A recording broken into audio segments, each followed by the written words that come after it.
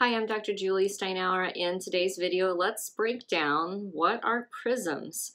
And I have a bunch to show you. So, first things first, if you want to contact our office in your local, call us at 618-288-1489. If you're not local, go to our website, visionforlifeworks.com. You've got two options. You can either fill out a questionnaire or you can click on the schedule a consultation button. All right, let's talk prisms. We have a lot of different types of prisms that we utilize in our office, which might come as a surprise because I pretty adamantly talk about not prescribing prism in glasses. I do want to be specific in saying there are times that I do utilize prism.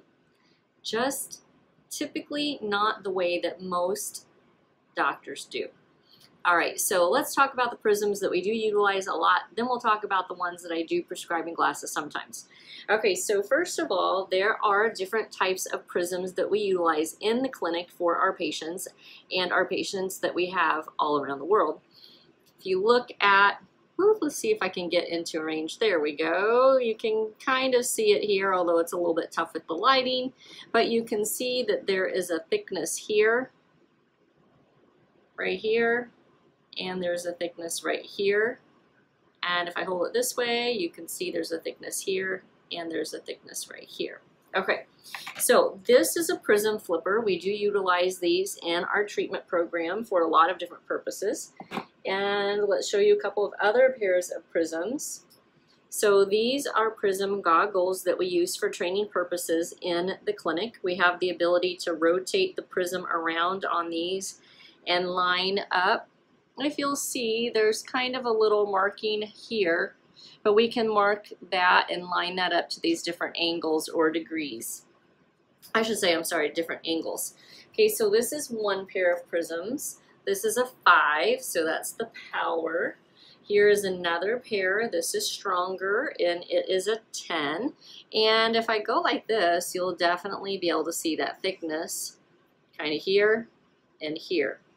Okay, now here's another pair that we utilize. It all is dependent upon the problem the person is having and how they use their two eyes together as a team. But you'll be able to see this one for sure. Look how thick that is, okay? Super thick prisms. And then, of course, it comes down to a point, all right? That is a pair that we use for training. Now there are prisms that we utilize for testing also, and it might look something like this, where it's a prism on a stick, and you can put it and insert it in front of someone's eye. Ooh, you may even see my eye move trying to adapt to that. Okay, and there we go, I adapted to it. Okay, so my eyes might have looked different as I looked through that prism. All right, we'll use those for um, testing purposes. Here, what's Dr. Julie look like? Oh my gosh, with these on, there's a camera up here and there's one here based on how these are aligned, okay? So there you go, there's your funny, there's probably the thumbnail for the video. All right, so we do utilize lots and lots of prisms in our clinic, and we do sometimes prescribe them for patients. So someone who has an esotropia, we might give them a really, really low level prism that is based down at the bottom because that causes the eyes to kind of go up and out. So we do use them at times. We can use them for training glasses for short periods of time in order to shift someone's visual space from one side to the other. I'm not a fan of prisms generally for these two purposes, however. If we're trying to use them just to maintain someone's eye alignment when they could be taught how to align and use their two eyes together as a team, I'm not a fan of that. I would prefer that you teach them how to use the two eyes together as opposed to falsely doing that with what I call a band-aid approach, using prisms in glasses to align the eyes. Um, and it actually doesn't really align the eyes. What it does is it aligns the image for them to be able to get a single image. But in our clinic, what we do is we just train the brain to be able to align the eyes without needing that prism because people go through what's called prism adaptation. In prism adaptation, what that means is after a while, the brain gets used to it and then they need a stronger lens or require a stronger lens in order to still see single. After a while, it becomes so strong that it's kind of like outside of the ability or capability of a lab to make lenses like that, and then it becomes a problem. So we would rather kind of train the brain and the muscles to be able to align appropriately without having to utilize that. The second time I'm not a fan of using prisms is in someone who's had a stroke where they've lost part of their visual field and oftentimes, or maybe they've had a brain tumor and they've lost part of their visual field.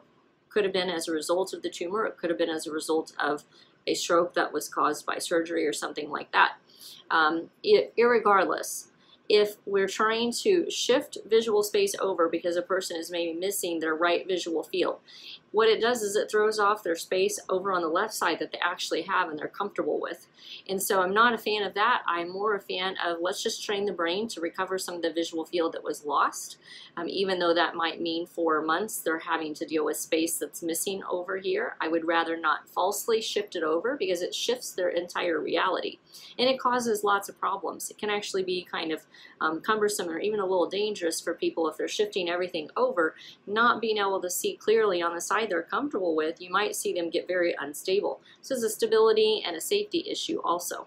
That's some of the, the uh, prisms that we use in the office and some of the things that I'm not a fan of utilizing prisms for and a particular instance in which we actually do use, or a couple instances in which we do use um, prisms in glasses for our patients.